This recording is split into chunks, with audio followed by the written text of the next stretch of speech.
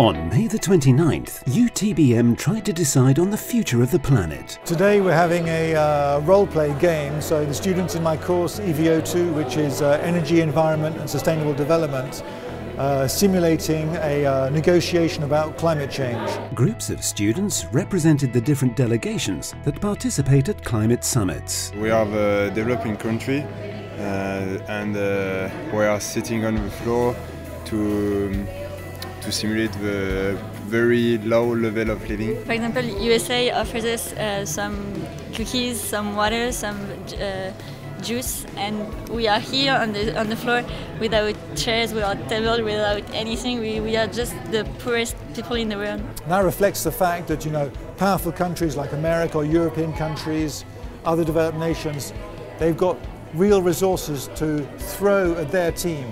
So for example, their team will stay in a nice hotel, will be comfortable, get a chauffeur-driven taxi, a car to the, uh, the meeting place. The simulation was fine-tuned down to the smallest detail, with pretend journalists putting pressure on the delegates by live tweeting on the event. I know uh, we've come out of the classroom, there's a lot of noise around us, but that's absolutely normal.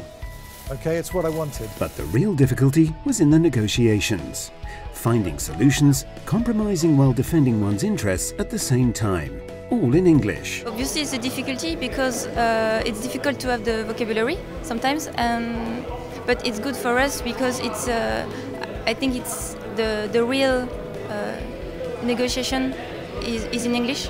At the first five minutes maybe we'll, we'll think a lot of what we are saying, how we say it, but after five minutes, we, we are more we focus more on what we want to say, but not how we say it. The EVO2 course complements technical modules and raises future engineers' awareness about the environment and sustainable development. I think and I would hope engineers today, when they design products, when they find solutions, I hope in the back of their mind the possible impacts of some design choices or component choices or different aspects of the design I would hope that the, the impacts those choices would have on the environment would come, uh, be in their mind.